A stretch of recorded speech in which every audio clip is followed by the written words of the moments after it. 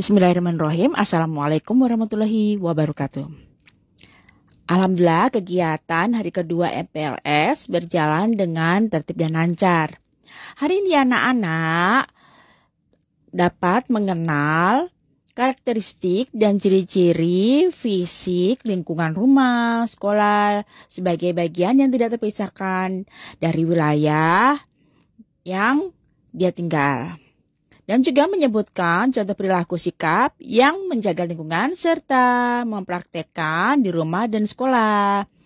Semua anak-anak kerjakan dalam asesmen diagnostis sehingga terbentuk kipas pohon kesayangan. Kenapa disebut kipas pohon kesayangan? Karena setiap datang ke sekolah, anak-anak wajib membawa kipas pohon kesayangan tersebut. Di mana anak-anak pada saat di absensi kehadirannya sambil mengacungkan tangan dan membawa kipas tersebut dengan menyebutkan panggilan kesayangan yang dia inginkan.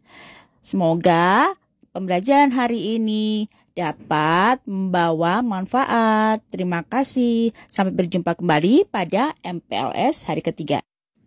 Assalamualaikum warahmatullahi wabarakatuh. Teman-teman, besok bawa ini ya.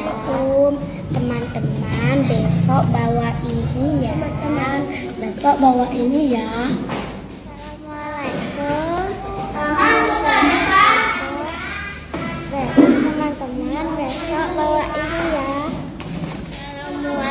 Assalamualaikum teman-teman.